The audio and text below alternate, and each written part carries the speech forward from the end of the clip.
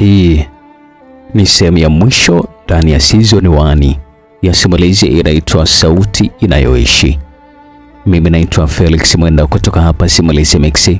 Nambari zetu ni 0677 062 012. Mtunzi anaitwa Lovi Kijogo. Simulizi hii nzuri kabisa yenye mafunzo unaipata hapa katika YouTube channel yetu ya Simulizi Mix, na usiache kubonyeza subscribe na alama ya kengele.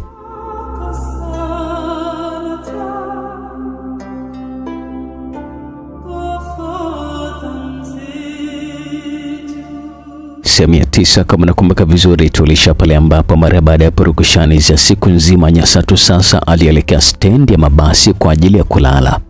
Kilichoendelea niko nacho hapa katika sehemu hii ya mwisho, sehemu ya kumi ndani ya season ya kwanza.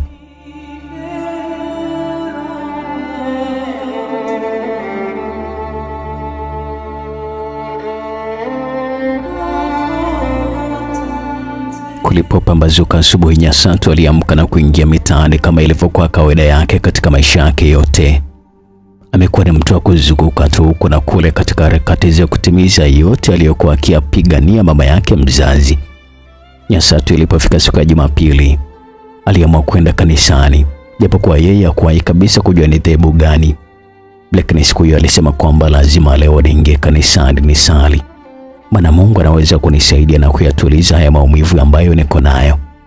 Alipofika kanisani, alisikia Padri Mathayo akiwa anazungumza, atukuze Mungu juu mbinguni, duniani iwe amani kwa watu aliowaridhia.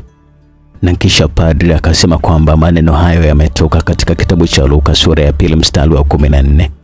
Na mara baada ya kusema hayo akaendelea kuzungumza, amani ndiyo kila kitu katika maisha yetu hapa duniani na unyanyasaji wa kijinsia hutakiwi kabisa, na yeyote yule ambaye anapigania haki lazima teseke na kumbane na maumivu mazito sana, na wakati mwingine hata kupoteza maisha ili kuikomboa jamii yake. Mara baada ya ibada kuisha, Nyasatu aliondoka huku akiwa amepata vitu vingi na vilimtia sana moyo wa kuendelea kupambana zaidi. Yale maneno ya padre kanisani akamrejesha matumaini Nyasatu ambayo yalikuwa ameshaanza kutoweka kabisa. Wakati bado Nyasatu akiwa pale kanisani, kuna wazungu kama watano walimfuata, maana alikuwa na anawashangaa sana walipokuwa pale kanisani. Walimwona Nyasatu ni binti mdogo, halafu anasikiliza mahubiri ya padri kwa makini, na baadaye wakaona machozi yakimchuruzika. Kwa kitendo hicho kiliwashangaza mno wale wazungu, wakaona yule binti neno la Mungu lilikuwa limemwingia mpaka machozi yanamtoka. Walianza kumwangalia Nyasatu aliyekuwa amejawa na makovu tu katika mwili wake pamoja na mavazi aliyokuwa yamechakaa sana. Walipomwangalia usoni, waligundua kwamba sura yake ilikuwa imekaa muda mrefu sana haijapata tabasamu na ilikuwa imetawaliwa na unyonge na huzuni pamoja na manyanyaso. Ama kweli moyo huona mbali kuliko kichwa. Wale wazungu walianza kutaja majina yao, ambapo kulikuwa na John Smith, Mark Adams, Matthew John James Philbert pamoja na Johnson Peter. Na mara baada ya kumaliza kutaja majina yao yote, Nyasatu naye akajitambulisha kwa jina lake na kisha katulia. Kimya kilitawala kwa muda kidogo, yaani walibaki wakiwa wanaangaliana tu bila kuzungumza. Ndipo sasa yule John Smith alijitosa na kuanza kumuuliza Nyasatu maswali. Nyasatu, naomba nikuulize maswali. Niulize tu mimi niko tayari kukujibu chochote ambacho utauliza.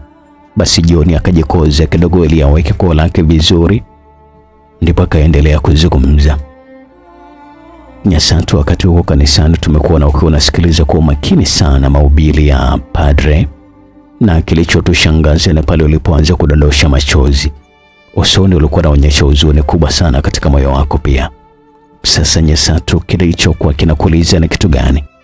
Nyasatu alifungua kinywa chake kwa utulivu na kuanza kujibu swali hilo ambalo alikuwa ameulizwa. Kwa pale kanisani, kuanzia maneno ya padri yaliyoweza kupenya katika moyo wangu uliopondeka pondeka, na maneno hayo hayo yalitumika kuufariji moyo wangu kutokana na maumivu yale, na maneno hayo hayo pia yametumika kuufariji moyo wangu kutokana na maumivu ambayo nimepitia katika harakati zangu hizi za kumkomboa mwanamke pamoja na mtoto. Na ndio maana nilipoasikia maneno yale machozi alianza kunitoka bila hata mimi mwenyewe kuyaruhusu. Ndipo Joni Akamuuliza Nyasatu, ni harakati gani ambazo unafanya? Ni mambo ambayo bado nayafuatilia, ambayo ndiyo amefanya nionekane hivi ambavyo yanaonekana leo. Nyasatu sasa aliamua kuanza kuwasimulia jinsi alivyokuwa ameteseka, namna ambavyo ameshuhudia vifo vingi na vilele vya unyanyasaji kwa wanawake waliokithiri kule kijini kwao, na pia akawaeleza juu ya kifo cha mama yake mzazi aliyefariki kwa mateso na maumivu makali sana. Akawapa na mkasa wa ule bibi kikongwe ambaye ndiye aliyemsimulia Nyasatu juu ya maisha ya mama yake mzazi, na mpaka kukaibuka na mkasa ule. Mwishoni Nyasatu alimaliza kuwasimulia jinsi rafiki zake walivyouawa. Alianza kumwelezea Ana alivyobakwa na kisha pia kawaelezea juu ya kifo cha Nyafuru aliyeuawa kwa kuchomwa moto. Nyasatu mara baada ya kumaliza kusimulia, aliinua kichwa chake na kukuta wale wazungu wote watano anatokwa na machozi. Nyasatu na utoto wake alishangaa huku akiwa anasema, he, hata wazungu kumbe wao wanalia. Kiukweli alikosa kabisa jibu, na kumbe yale mauaji yote yaliwagusa sana wale wazungu na kuendelea kulia. Mara baada ya wazungu wale kunyamaza, Mathew yeye akaanza kuzungumza. Pandeni kwenye gari tuondoke. Walielekea kwenye duka ambalo walikuwa wanauza majeneza, wakanua mashada mengi sana na mifuko mitatu ya saruji pamoja na misaraba miwili mikubwa, na kisha wakamwomba Nyasatu awaelekeze walipozikwa Ana pamoja na Nyafuru. Basi Nyasatu akafanya vile, akawaelekeza mpaka walifanikiwa kufika kwenye kaburi la Ana na kumbe kuna mzungu miongoni mwao alikuwa ni fundi alikuwa anaitwa Johnson. Alishanganya saruji akajenga kaburi la Ana na kisha aliweka ule msalaba mkubwa wa chuma, lakini kwa bahati mbaya hakuna aliyekuwa anajua majina mawili ya Ana wala mwaka wa kuzaliwa. Kwa hivyo aliamua tu kuandika kwamba Ana, kwa mateso makali ulioyapata pale darajani, ni ukombozi wako kwa watoto wenzako. Ndipo Johnson Peter akauliza lilipo kaburi la Nyafuru ili nalo waende wakajengee. Nyasatu aliwapeleka akawaonyesha tu sehemu ambayo ni nyeusi chini, akiwaambia kwamba pale ndipo Nyafuru alipopigwa na kuchoma moto. Majibu hayo yalifanya wazungu wale kuangua kilio upya, kana kwamba ndio Nyafuru kafariki siku ile. John akamuuliza kwa nini watu hujichukulia sheria mkononi, lakini hakuna mtu yote aliyejibu. Basi ule fundi bwana Johnson Peter akaamua kujenga kaburi pale alipokuwa amechomewa Nyafuru. Alipomaliza kujenga akachukua msalaba akaweka na kisha akaandika maneno, Nyafuru ulikuwa ni mavumbi na umerudi mavumbini. Majivu haya yaliyobaki hapa chini ni ukombozi kwa watoto wenzako na ni furaha yao ya baadaye. Baada ya kumaliza kazi hiyo, Joni aliwaambia warudi nyumbani sasa, wakae kwa pamoja, wapange mipango, maana mkono mmoja hauchinji ng'ombe. Walipofika nyumbani, muda ulikuwa umekwenda sana ikabidi waoge, wale chakula cha usiku ndio wakapumzike. Na mara baada ya kumaliza kula, walimwonyesha Nyasatu chumba changi ambacho ndicho atakachokuwa anatumia kupumzika. Kulipokuwa cha asubuhi, waliandaa chai ili waweze kunywa. Mara baada ya kumaliza kunywa chai, wakaitisha kikao kidogo, na pale aliyokuwa naongoza kikao kile alikuwa ni John Smith. Kabla yote, alifungua kikao kwa maombi na kisha akaanza kuzungumza. Nipende kuwapongeza sana kwa kuzidi kuonyesha ushirikiano wa kumsaidia huyo binti anaitwa Nyasatu. Mimi kama jioni natoa wazo kwamba tuandae machapisho mbalimbali yatakayotoa elimu juu ya vitendo vya ukatili dhidi ya wanawake na watoto, na kisha twende mpaka vijijini huko huko kutoa elimu. Sasa naomba Nyasatu atuchagulie jina la majarida hayo. Nyasatu akaanza kusema, mimi kama Nyasatu napendekeza majarida hayo tuyape jina la Sauti Inayoishi kwa sababu jina hilo limekuwa likiishi nami kutoka zamani, na marehemu mama yangu alikufa akiwa anapigania hilo jina.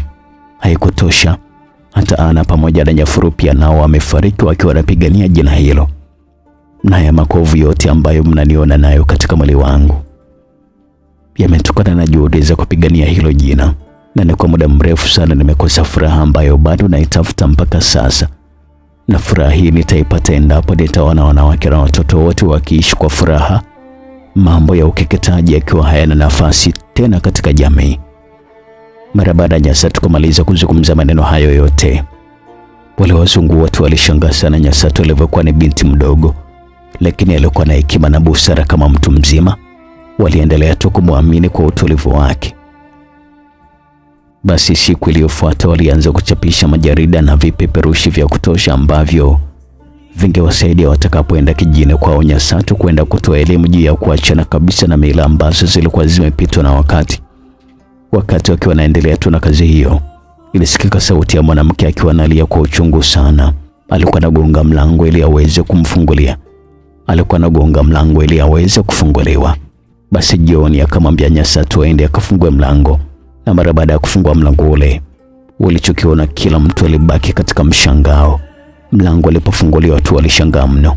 bila kuna mara baada ya kumwona mwanamke aliyevimba mwili mzima, damu zikiwa zinamtoka na akiwa analia kwa maumivu makali na kombe mle ndani. Bwana Methu alikuwa ni mzoefu wa masuala ya kutoa huduma ya kwanza. Ikabidi sasa aanze kumhudumia yule mama. Alifunga kwa vitambaa safi yale majeraha yake. Alipopata nafuu, ikabidi sasa wamuulize alikuwa amepatwa na kitu gani na alikuwa anatokea wapi pia. Ndipo yule mama alifungua kinywa chake na kuanza kueleza. Mimi naitwa Mama Dora, naishi nyumba ya tano kutoka hapa, na kama mnavyoniona nimenusurika kupoteza uhai. Mimi maisha yangu yote ni ya kulia tu na kupigwa kila siku. Hiyo imekuwa ni sehemu tu ya maisha yangu. Kiukweli naumia sana, na sijui ni kwa nini niliolewa na mwanaume katili kama yule. Kila siku napokea kipigo huku akiwa ananiambia sina pa kwenda. Kwetu na maskini sana, lakini aishi hapo mpaka anasema kwamba nimezeeka. Nilikuwa wa zamani. Ninaumia sana jamani, na hiyo ni baadhi tu. Kuna siku nilimkuta na mwanamke mwingine katika nyumba ya kulala wageni, lakini mimi ndo nilipigwa. Alikuwa ananiuliza nimefuata nini pale. Nimekuwa ni mtu wa kulia tu kila siku. Baada ya Mama Dora kushindwa kuendelea kuzungumzia kutokana na machozi kumtoka, ikabidi Nyasatu amtulize, na kumbe kipindi Mama Dora akiwa anasimulia, Joni alikuwa anaandika maelezo yote kwenye karatasi. Ndipo sasa akawa ameandika kitabu kizuri alichokuwa anakiita Chozi la Mama Dora. Lakini John Smith aliumia sana kuona wanawake wanateseka sana, na wengi walikuwa nakufa kwa mateso mno. Kwa kweli swala hilo likamuumiza sana kichwa. Waliamua sasa waendelee kuishi na Mama Dora, wakaenda naye kijini kwao Nyasatu kuendelea kutetea wanawake. Bwana John Smith alikuwa ameshatayarisha gari kubwa, akafunga na vyombo vya mziki, akawa amevijaribu na kuona viko sawa. Kwa hivyo akamwita Nyasatu na akamwambia alete yale majarida waweke kwenye gari. Wakachukua na vyakula vikavu, wakawa wamepanga kwamba kesho yake wanaanza safari ya kuelekea Bisumwa. Ilikuwa yapata mida ya saa mbili usiku. Ilibidi wale chakula ili wakapumzika na kujiandaa kwa ajili ya safari ya kesho yake. Basi ilipofika asubuhi, waliamka, walikunywa chai, wakaelekea kwenye gari. Walikuwa ni watu saba, waliozungu watano, Nyasatu pamoja na Mama Dora. Aliyekuwa anaendesha gari alikuwa ni Mark Adams, kwa sababu alikuwa na uzoefu wa kutosha sana kuendesha magari makubwa kwa muda mrefu sana. Wakiwa njiani, walikuwa wanapanga mipango mingi sana ili wajue wakifika wanaanzia wapi, maana walikuwa wanatembea njiani huku akiwa wamefungulia mziki kwa sauti ya juu sana, kwa sababu walikuwa wanatumia vyombo vya kisasa sana. Safari hiyo haikuwa na furaha sana, kwa sababu Mama Dora na Nyasatu muda mwingi walikuwa wameinamisha tu vichwa vyao chini. Walikuwa na wanatafakari maumivu walionayo na ni lini watapata furaha. Walipofika maeneo ya Kwangwa, ghafla safari iligeuka chungu mithili ya shubiri, na kilichotokea kiliweza kukusanya umati wa watu ambao walipofika eneo la tukio wakajikuta wakiwarangwa vilio vya kwikwe kutokana na kilichokuwa kimetokea. Kilichotokea ni kwamba gari waliokuwa wanatumia kina Nyasatu iliacha njia na kwenda kugonga kwenye mti na kisha ilibinuka. Ndipo watu wakawahi eneo la tukio kutoa msaada. Kilichokuja kuuliza watu ni kitendo cha kukuta watu watano wamefariki pale pale, na waliokuwa wamenusurika kifo walikuwa ni watu wawili tu ambao ni Nyasatu pamoja na John. Hasa Nyasatu alikuwa anaumia sana zaidi, alikuwa anamlilia sana Mama Dora huku akiwa anasema Mama Dora, jamani, umeondoka na ndoto zako za ukitafuta furaha, na kwamba basi uamke mara moja, niambie ulichokuwa na waza tukiwa safarini, ni kitu gani ili mimi nikifanye.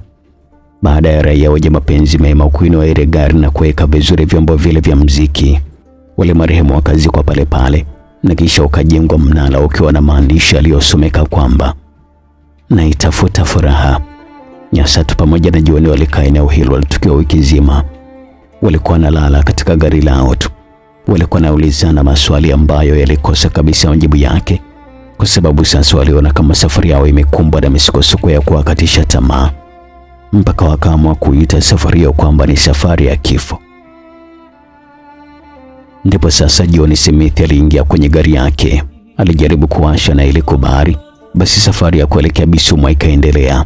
Walitumia dakika kama ishirini hivyo wakawa wameshafika tayari kwenye kiwanja cha shule ya msingi, kwa sababu ndio kilikuwa kiwanja kikubwa. Walipofika hawakutaka kupoteza muda, walifungulia mziki kwa sauti ya juu na waliweka sebene. Kwa kweli Bisuma watu walikuwa wanapenda sana burudani. Haikuchukua muda mrefu, uwanja walikuwa wameshatapika watu kuanzia watoto mpaka wazee walikuwa wamejaa. Ama kweli ukijisaidia, hakuna haja ya kualika nzi, watakuja wenyewe tu. John alianza kugawa majarida pamoja na vipeperushi ili watu wasome waweze kujua kilichokuwa kimewapeleka pale ni nini.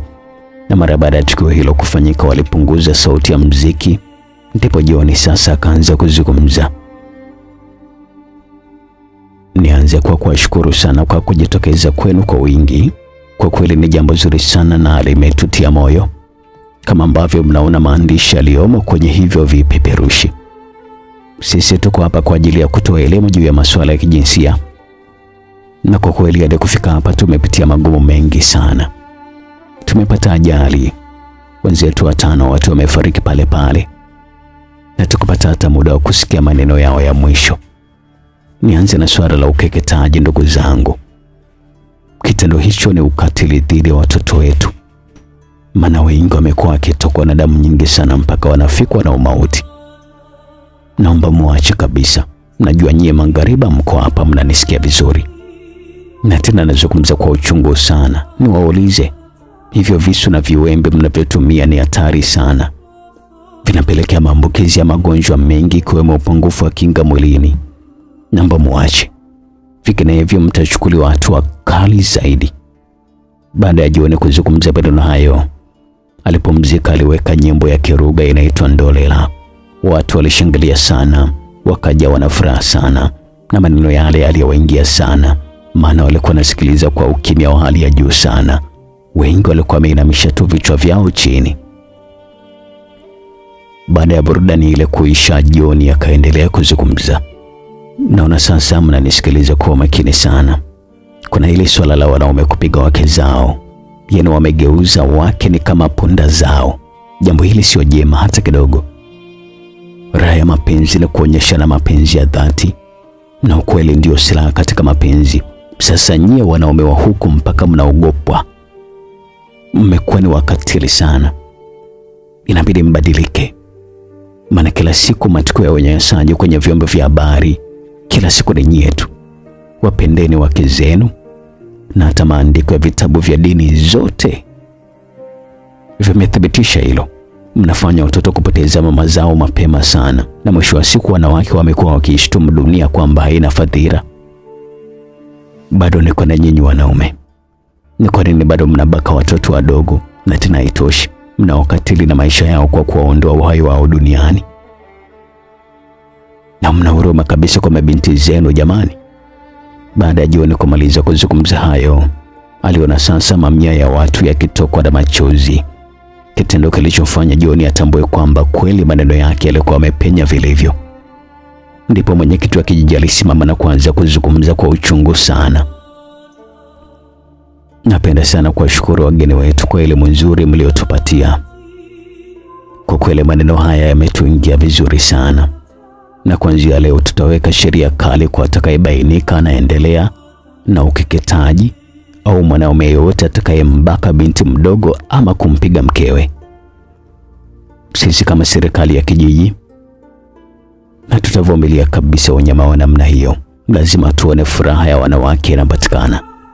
Mwenyekiti wa kijiji alipomaliza kuzungumza vile, wanakijiji wote walifurahia sana, wakasema kwamba watashirikiana naye kufichua watu waovu ambao watakuwa wanaendelea kukumbatia mila pamoja na desturi potofu ambazo zimepitwa na wakati. John alisimama kwa mara nyingine tena akamkaribisha Nyasatu ili apate kuzungumza kidogo.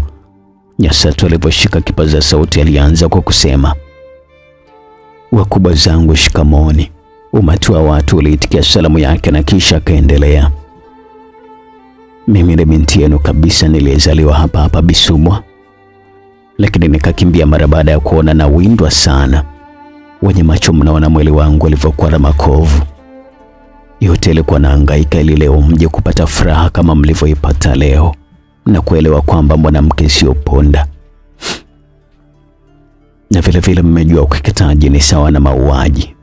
Nimefurahi sana kusikia mtaacha. Narudia tena, mimi nimeshuhudia mabinti wengi sana wakifariki kinyama, maana hapa kijini mlikuwa mmekoswa kabisa na huruma. Toka mama yangu afariki, sikuwahi kabisa kuwa na furaha mpaka mnavyoniona. Nilikuwa natamani hata siku moja nitabasamu, na siku hiyo nadhani ni leo, japo tabasamu langu halitadumu sana, lakini maneno yangu yataishi nanyi milele. Endeleeni kuishi kwa upendo. Narudia tena, wanaume waheshimuni sana wake zenu.